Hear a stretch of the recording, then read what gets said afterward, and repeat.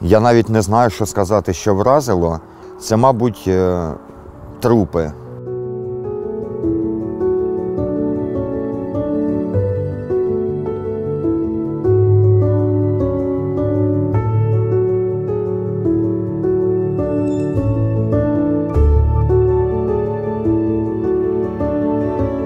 Ми під час окупації були тут, е, тому що я працівник швидкої допомоги. Я не, не маю права залишати свою роботу і десь їхати. Дружина з дітьми теж були тут, тільки я їх перевіз е, в більш е, безпечне місто, тому що в нас е, хазяйство, худоба.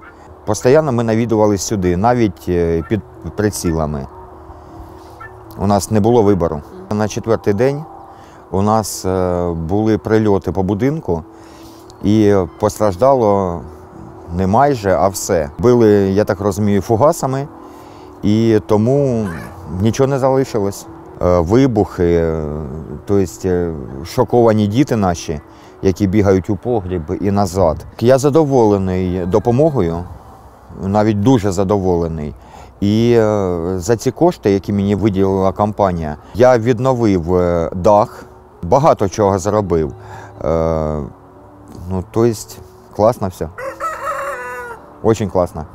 Е, Щиро дякуємо за допомогу швейцарській компанії і українцям е, за виділену нам допомогу.